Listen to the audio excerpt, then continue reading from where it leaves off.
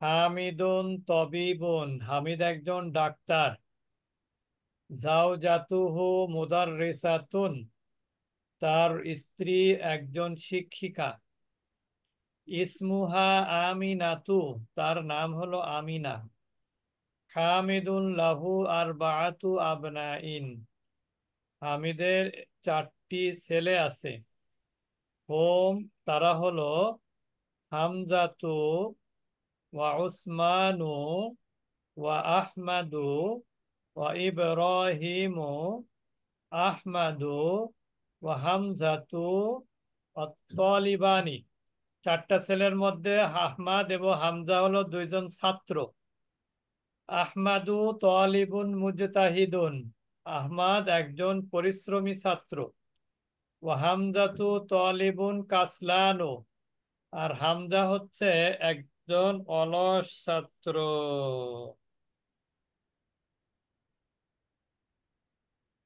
কলা ইউসুফু, ইউসুফ বলল ইং দি খমসাতু আকলামিন, আমার কাছে পাঁচটা কলম আছে। হাদা কলামুন আহমারু, এটা লাল কলম। ওয়াহাদা কলামুন আজরাকু। এটা কেমন কলম? নীল কলম। নীল কলম। ওয়াহাদা কলামুন আখদারু এটা সবুজ কলম। ওয়াহাদা কলামুন আসওয়াদু এটা কালো কলম। ওয়াহাদা কলামুন আসফারু এটা হলুদ কলম। কলা জাইনাবু সে আবার বলল যে ইংদি মানাদিলু কাসিরতুন আমার কাছে অনেকগুলো রুমাল আছে। হাদা আবিয়াদু এটা সাদা। ওয়াহাদা আসফারু এটা হলুদ। ওয়াহাদা আহমারু এটা লাল। ওয়াহাদা আজরাকু এটা ব্লু। ওয়াহাদা আখদারু এটা সবুজ। সবুজ। সবুজ।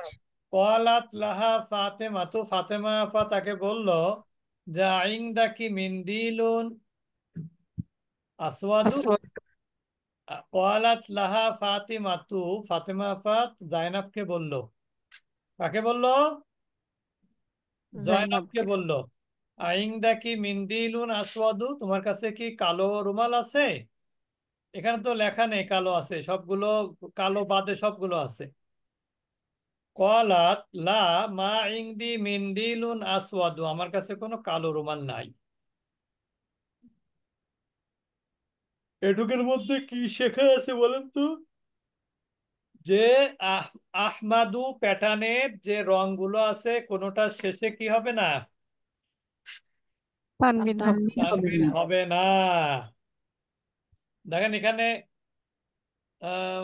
যেমন কলামুন দুই পেশ হলো কিন্তু আহমারও কিন্তু এক পেশ হয়েছে।